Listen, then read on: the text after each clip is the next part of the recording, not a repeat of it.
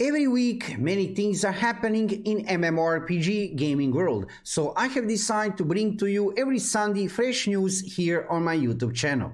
You will find out all you need to know about new upcoming MMORPGs, new events, new updates and much more just within few minutes time. So let's not waste time, let's dive into video. Before we start, let me just say subscribe to my YouTube channel and follow me on Twitch to see more MMORPG content in the future. Okay, boys and girls, ladies and gentlemen, that was introduction. Now let's dive into video. First, let's talk about Lost Ark, because as you will see here regarding western version of the game, currently we have lots of things happening. In the previous week, we have get this announcement, and actually we have get Ark Pass Season 2. Regarding details of Ark Pass Season 2, you can check all the necessary information here on official website of Lost Ark. I will not go into details right now, but I can show you here regarding number of players. Lost Ark here in the West is actually doing pretty good. 24 hour peak 179,000 players. Actually this is about 180,000 players overall. It's pretty nice. There are still some bots in the game. However big majority out of this number are real players. So regarding western version of the game many things are currently happening. We have lately actually we have get like new class a few weeks back machinist scouter and we have get announcement that we are getting two new classes very soon reaper in november and Summoner in December. So regarding Lost Ark, western version of the game, things are happening. It's very high activity over there from publisher of the game, Amazon Games, and from developers of the game, Smilegate RPG. But now let me show you what is happening over there in Korea. Because in the previous week, we have get this new trailer for a new continent incoming, Pletze. That is the name of the continent incoming in Lost Ark Eastern version of the game on October 26. In the future, you will see some more dedicated videos regarding this new update in Korea. This is trailer which we have get uh, during previous week. This trailer is discovering this beautiful new continent. Check it out looking absolutely amazing. You can check this trailer in full version on official YouTube channel of Lost Ark, Eastern version of the game, right? However, let's move here to show you that actually for now, on official website of Lost Ark over there in Korea, there are no any kind of details regarding this new update. So new update is incoming on October 26. You can see here different kind of notifications, updates, uh, events, but nothing regarding new update. If I see any kind of news regarding what is happening over there in Korea, I will let you know about that instantly here on my YouTube channel. So far, I didn't see any kind of new information regarding new class female berserker. Are we getting new class with this new update or not? But I assume not. Because for now, we have get only that trailer. We should see probably within that trailer any kind of, some kind of announcement regarding new class. When I see some details regarding new update, you will see information within dedicated video on my YouTube channel. For today, just to let you know, new update is incoming over there in Korea and here regarding western version of the game, yes, things are happening. So Lost Ark is still one very viable option to play during October if you like to play PC MMORPGs with isometric perspective. Let's go forward with Tower of Fantasy. Tower of Fantasy is a new anime MMORPG recently released here in the West on August 11. This is a free-to-play game which you can play on your PC and mobile devices and as you can see here in front of you, we are getting huge new update version 2.0 Vera in only 4 days, 24 hours, 22 hours, 55 minutes, so basically on October 20.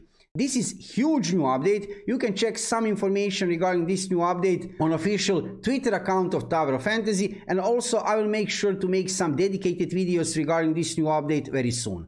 So October 20, if you like to play anime kind of MMORPGs, if you still didn't try to play Tower of Fantasy, well, now is your opportunity to try to play it for the first time. Without any doubt, we'll get some new SSR characters, as you can see here in front of you. So, developers of the game and publisher are very active regarding western version of the game. Here in the West, Tower of Fantasy is still very popular. All the time, we are getting new events, new SSR characters, and new updates. Previous big new update was 1.5 Artificial Island. You can check some dedicated videos on my YouTube channel regarding Tower Fantasy. I have to say, one really beautiful MMORPG with interesting combat. Uh, combat feels absolutely amazing under the fingers. Regarding gacha system of this game and pay to win, that's another story. However, I would say this is one very interesting option to play during October if you like to play anime kind of MMORPGs. In the future, of course, when I see something interesting is happening with Tower of Fantasy, I will let you know about that. And also regarding new update, Vera 2.0, I will try to play it. Check my live streams on Twitch. I will live stream gameplay of that new update on October 20. Let's go forward with New World. And I have to say, boys and girls, ladies and gentlemen, lately many things are happening with New World. Is it possible that Amazon Games will manage to revive this MMORPG after, well, after it was nearly dead? Because you can see here, lately, number of players over there on Steam database, it's looking much better. Currently almost 38,000 players, 24 hour peak, that is actually pretty decent. And I have no doubt during October number of players will increase. Why? Reason is simple. I can show you here on news part of this website.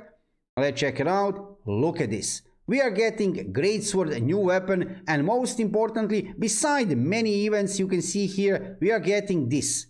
New update is incoming on October 18. So I have no doubt number of players will increase during October and Amazon Games is doing a lot to revive this MMORPG and it's looking it's succeeding right? So you'll see what happened during october. I will let you know about that. However if you want to return to new world then this date here october 18 would be a perfect time to return to the game right? If you were disappointed with this game in the past maybe now this version of the game after amazon games have managed to fix lots of bugs and implement a new update, maybe you will like the game this time after you will try to play it. Of course, I will let you know everything what is happening with this new update, what kind of reactions we'll have from players, but just to let you know for today's video, new update is incoming. Brimstone Sands on October 18 in New World and also game is looking much more alive. I really wonder how much will be this 24 hour peak on October 18 and a little bit later, let's say one week within that, right?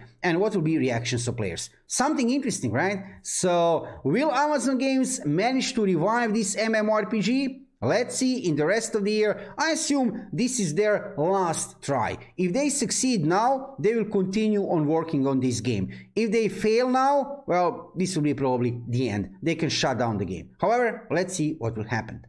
Let's go forward with Throne and Liberty, big new MMORPG, new upcoming MMORPG developed by NCSoft for PlayStation 5, Xbox and PC. And from previous week, actually I have one news for you because usually lately we are not getting too many information regarding Throne and Liberty from developers of the game, but today I can show you here this in front of you. You can see here G-Star. Big new event is incoming during November. G G-Star 2022. You can see here date in front of you between November 17 and November 20. So that is actually in about one month uh, from today. And during this event, Throne and Liberty, actually I should say correctly, NCSoft will be present there. I'm preparing specific video for the next week regarding details. However, we might get some new information regarding Throne and Liberty during G-Star 2022. NCSoft will be officially present there. There will be one person who will speak on the behalf of NCSoft. I will show you within next week. So G-Star 2022, something really exciting. What will happen during November? Will we get some new information regarding Throne and Liberty? Probably yes. I assume that NCSoft have saved some information, actually maybe some big news to give us during G-Star. Other than that, during previous week regarding Throne and Liberty, nothing huge didn't happen. You didn't miss anything. Basically, since last, uh, basically since that previous gameplay footage we have get about Two weeks ago, we didn't get any kind of new information regarding Throne and Liberty. If I see any kind of news regarding this MMORPG title, I will let you know about that instantly here on my YouTube channel because this release here, yes, this is something huge and for sure main focus of my YouTube channel in the future, but in the first half of 2023, not for now. If I see any kind of news, I will let you know about that. For now, all we can do is to wait for G-Star 2022. I will let you know about everything what is happening on G-Star regarding MMORPGs, of course, and regarding other PC games. If I see anything interesting worthy of your intention, I will let you know about that instantly here on my YouTube channel. Let's go forward with Blue Protocol. Blue Protocol is a new upcoming anime MMORPG developed by Bandai Namco, Japanese gaming developer. Recently we are not getting too many information regarding development of this game, but we know for sure that game is still not finished, we don't have any kind of release date, and I can show you here from previous week, we have get this information, there is a webinar registration currently happening uh, from Bandai Namco, you can participate if you want in this event, however, regarding Blue Protocol, some kind of concrete information regarding what is happening with this game, I cannot show you anything from previous week. However, you can see here, Bandai Namco is active as developers of the game. All the time something is happening and that is a positive thing for sure, right? So in the future, whenever I see something interesting is happening with Blue Protocol, I will let you know about that. From previous week, nothing new beside this here in front of you, this post regarding webinar registration. Let's go forward with Aion Classic European release, game which you are waiting for a long time to be released me too, of course. And I can tell you right away, I don't want to waste your time. From previous week, absolutely nothing new. You can see here on official forum of Gameforge, we didn't get any kind of official information regarding release date. Yes, that is what we are waiting for now. Release date for Aion Classic European release. Because about uh, three weeks ago, a little bit less, we have get information. Actually, we have get that login screen during live stream of Gameforge. That means that we are getting Aion Classic in Europe. When? That is the only question. Actually, not the only question. There are still few other questions like business model of the game, right? Candies.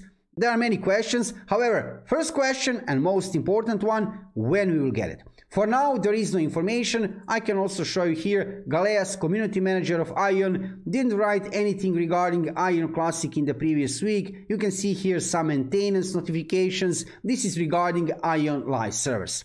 If you are interested into Aion Classic, check my live streams every single evening about 7 o'clock Central European Time. I'm live streaming a gameplay of Aion Classic from North America. I'm playing different classes. Currently I'm playing mostly Gladiator, Chanter and Templar. However, before the release of the game in Europe, I will try to play most of the classes and I will let you know regarding any news regarding Aion Classic European release.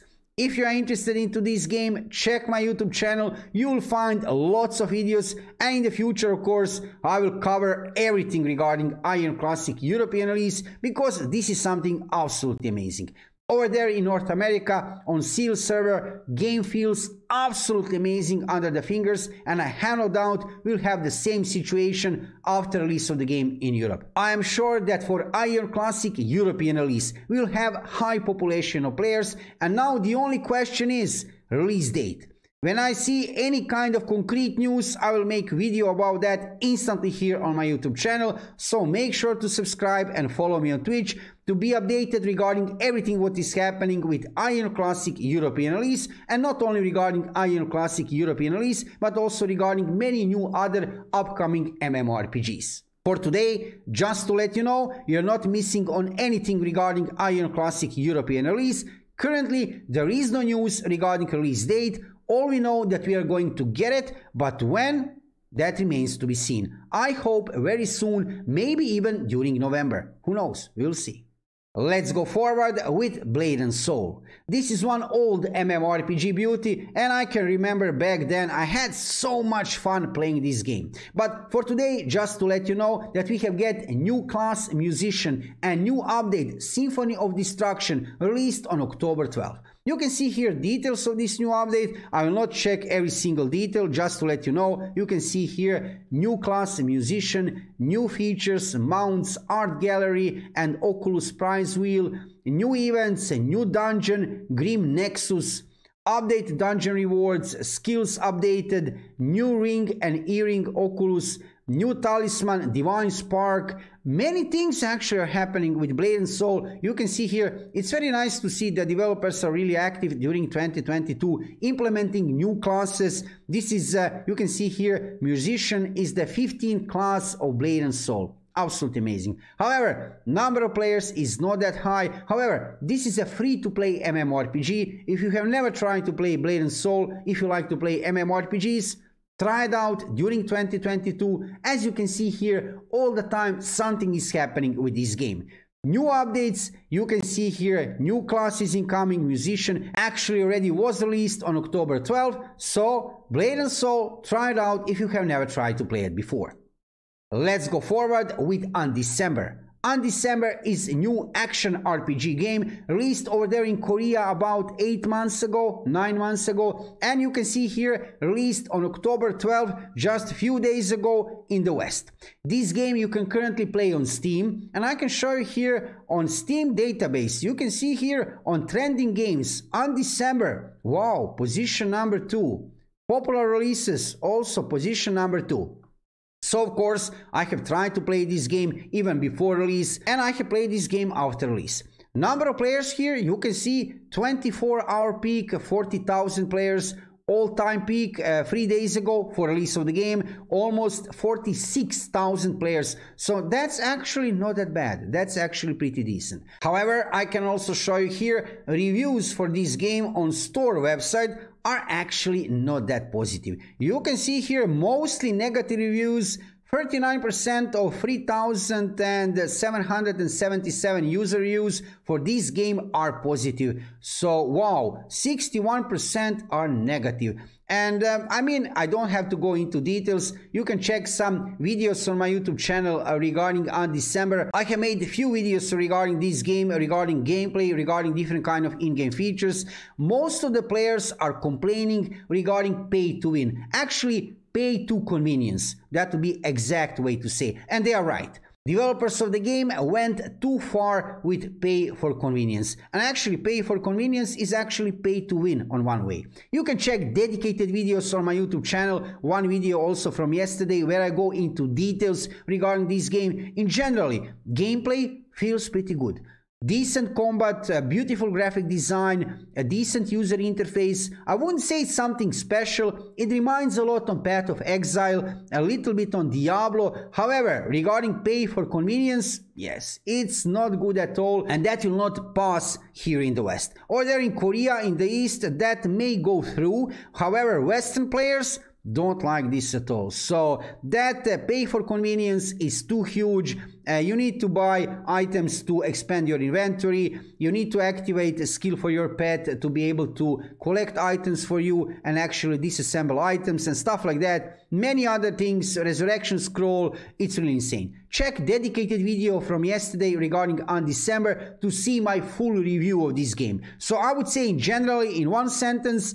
it's not a bad game. It has decent combat lots of in-game content. However regarding pay for convenience it's way too much. Absolutely way too much. Let's see in the future what will happen with Undecember. For now, numbers are actually looking pretty good. However, with this kind of reviews, numbers will go down very fast, I assume, during 2022. Let's see, right? I will let you know if I see anything interesting is happening with Undecember.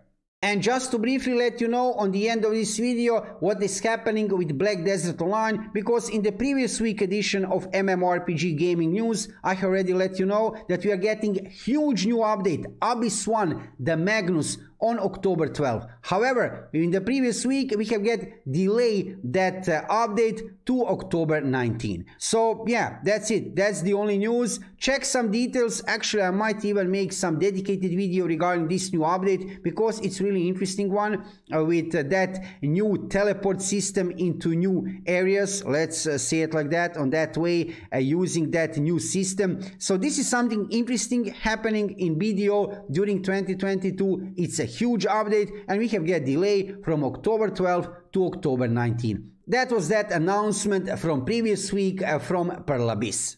So boys and girls, ladies and gentlemen, as you can see, many exciting things are currently happening in MMORPG gaming world. We are all waiting for to hear some good news regarding Throne and Liberty, maybe during G-Star 2022. That would be something really huge. I will make dedicated video regarding this topic within next week regarding Throne and Liberty and G-Star. What can we expect hear maybe?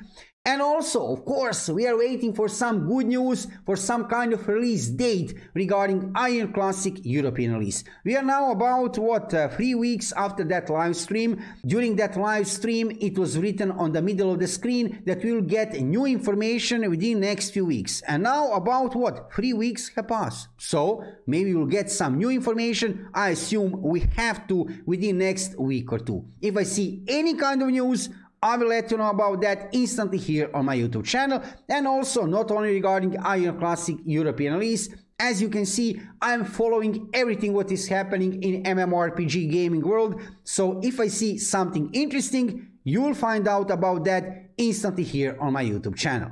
Let me know in the comments below video which new upcoming MMORPG are you waiting for to play after release and which MMORPG are you playing nowadays. If you are interested into MMORPGs, check my YouTube channel for lots of gameplay videos, guides, news and reviews from world of MMORPG gaming with main focus on new upcoming PC MMORPGs. Thank you for watching the video and subscribe to my YouTube channel and follow me on Twitch to see more MMORPG content in the future. See you soon.